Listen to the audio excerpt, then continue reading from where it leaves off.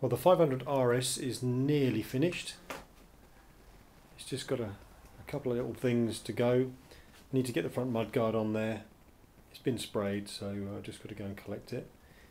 But um, I think everything else it is, is done. It's got the look that I that I want. It's almost like a standard RS 250, but there's subtle hints that there's a bit more to it. Obviously, the, giveaway is the is the writing on the side panel, but apart from that, at first glance, it probably looks like a bit of a tarted up RS 250. Um, but uh, when you get closer, you can see that uh, there's a little bit more to it than just that.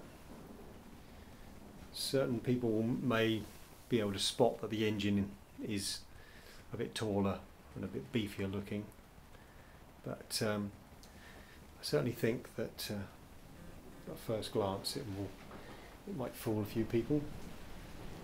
But uh, I wanted it to look almost standard, but um, but then surprise a few people with the, how it sounded and, and how it went. So uh, when the weather's a bit nicer, I'll have to get some more miles under under its belt because at the moment it's only done 50 miles on the new piston and rings. So uh, I think it's been recommended that I do uh, about 300 to run it in fully.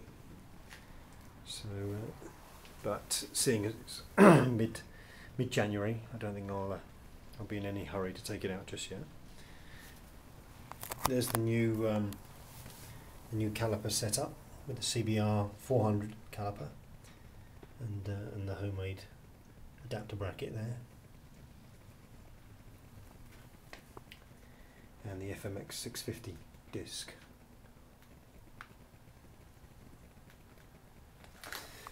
So uh, now it's had a fresh coat of paint uh, and it's all, all the same colour now, it makes it look a bit nicer. Was haven't had much luck in getting that wider rim on the rear, so uh, I'll just have to leave it as it is for the time being. But uh, everything else, I think, uh, is is just about just about perfect for what I want anyway. There you go.